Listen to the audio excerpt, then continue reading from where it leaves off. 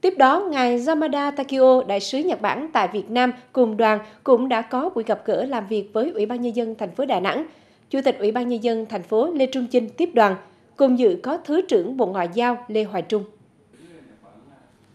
Thay mặt lãnh đạo Ủy ban nhân dân thành phố Đà Nẵng, Chủ tịch Ủy ban nhân dân thành phố Lê Trung Chinh vui mừng được đón ngài đại sứ cùng đoàn trong chuyến thăm Đà Nẵng, đồng thời gửi lời cảm ơn chính phủ Nhật Bản đã dành sự quan tâm hỗ trợ Việt Nam nói chung, thành phố Đà Nẵng và miền Trung nói riêng trong các đợt dịch bệnh thiên tai vừa qua.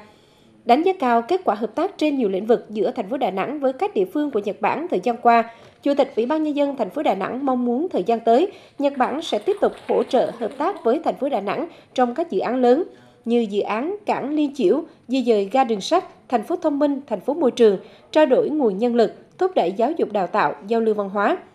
Ngài Yamada Takio, đại sứ Nhật Bản tại Việt Nam vui mừng trước những kết quả hợp tác giữa hai bên, đồng thời cho biết hiện Nhật Bản đang đẩy mạnh đa dạng hóa chuỗi cung ứng toàn cầu, trong đó có khu vực ASEAN và Việt Nam là một trong những đối tác chiến lược.